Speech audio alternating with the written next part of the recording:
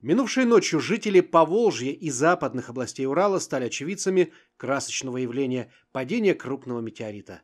О том, что небесный гость упал где-то рядом с их городом, поспешили заявить жители Казани, Йошкар-Олы, Кирова, Ижевска, Уфы и Перми.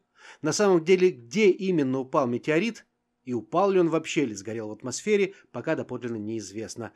Но, по крайней мере, ученые развеяли появившиеся было слухи о падении на Землю обломка советского разведывательного спутника, 40 лет болтавшегося в космосе без дела и использованного в качестве мишени при испытании российского космического оружия. Нет, пронесшийся в небе над Россией яркий болид действительно был метеоритом или метеороидом из метеорного потока Леониды, через который в эти дни проходит наша планета. Вспышка при его падении или сгорании действительно была яркой, раз ее видели в шести регионах. Однако звука взрыва никто не слышал, что может свидетельствовать о том, что метеорит был не очень большим, возможно, всего несколько сантиметров. На сайте Роскосмоса говорится, что Земля проходит через метеорный поток Леониды, образовавшийся когда-то при разрушении кометы Темпеля-Тутля с 6 по 30 ноября но на 17 и 18 ноября приходится максимум активности метеоров.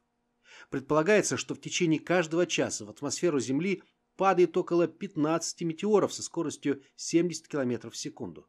Большинство из них нам незаметны, так как их падение происходит над океаном, но и на суше падение небесных тел видно только ночью, а ночи эти довольно светлые из-за полнолуния.